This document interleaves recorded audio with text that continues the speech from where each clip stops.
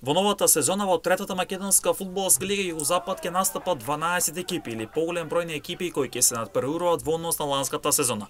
Од ланската сезона ќе настапуваат екипите на влазнимиот Струга, Демир Хисар, шампионот Кораб кој него помена баражот, Кравари, Преспа Отресен, Сатеско Дволено и екипата на Светлост. Нови екипи во трета лига Југозапад се екипите на Велешто Юнајтед, Евротип, Света Тројца 2021 од Охрид и екипата на Славе од Мешеишта. Во новата сезона во трета лига Југозапад ќе настапува Ланскиот второлигаш Карорман од Струга, кој по две сезони во второлигашкото друштво испадна и стана нов член на трета лига Југозапад.